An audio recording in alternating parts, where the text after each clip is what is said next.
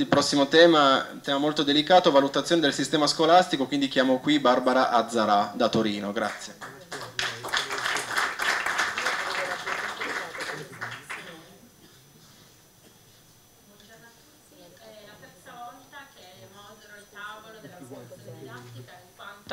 La prima volta ci siamo trovati a Torino e abbiamo in particolare parlato del tema degli invalsi come diceva appunto il collega Saccoccio, è un tema che eh, abbiamo anche noi considerato assolutamente eh, da eh, ripudiare completamente.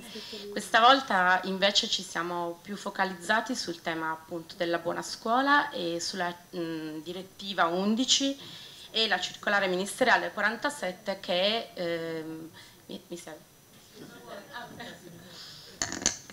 che è eh, appena eh, uscita. Quindi questo era eh, l'incontro relativo proprio a queste tematiche. Eh, hanno partecipato al tavolo eh, Marina Boscaino, eh, molti colleghi e anche la senatrice Nundo.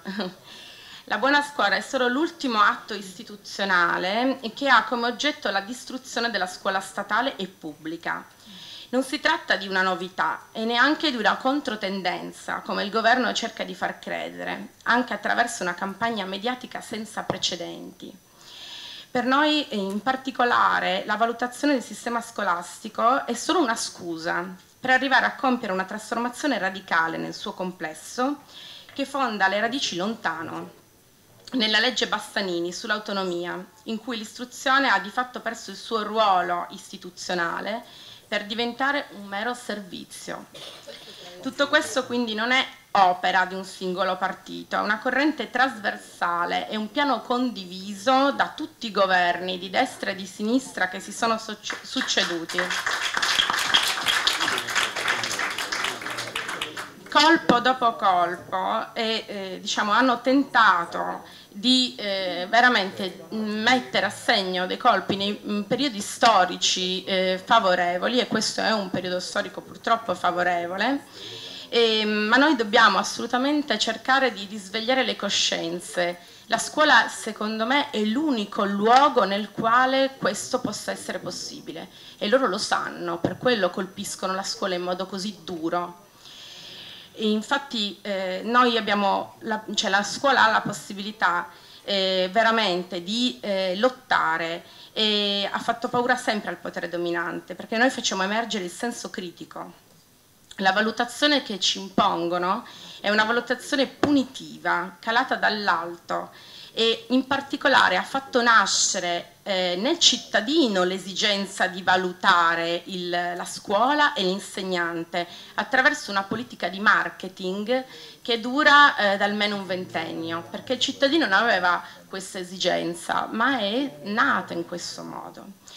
La valutazione per noi è una cosa seria e non può essere messa in mano a persone che con la scuola non hanno nulla a che fare o anzi spesso sono i veri responsabili della condizione nella quale verte la scuola.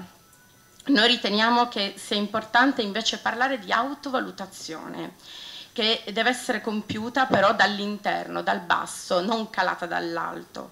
Noi immaginiamo un organo veramente competente eh, dove i membri siano eletti dalla scuola stessa e eh, un organo che prima di valutare eh, cerchi di dare um, un nuovo rilievo, un maggiore rilievo alla professione docente e che definisca un vero codice deontologico.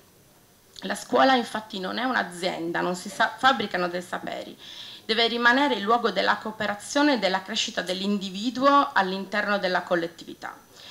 L'autovalutazione deve essere intesa come un momento di riflessione atto a un miglioramento del sistema attraverso un lavoro collettivo tra più istituzioni scolastiche di vari territori.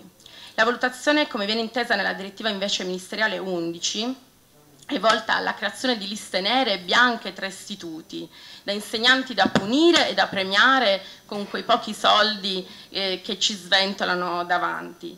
Tutto questo eh, non sarà utile alla collettività, perché avrà come unica conseguenza quello che è già successo negli Stati Uniti, la chiusura di scuole che verranno valutate al di sotto dei criteri standard e quindi eh, chiuse come se fossero dei siti produttivi. La buona scuola è quindi per noi assolutamente da rigettare e anche come è stato eh, ampiamente richiesto da numerosissime delibere dei collegi docenti. È doveroso per noi porre una vera inversione, non un'inversione solamente intesa in senso di marketing come quello che avviene nella buona scuola, che di fatto si deve contrapporre in modo netto a queste politiche liberiste che mortificano il sistema di istruzione.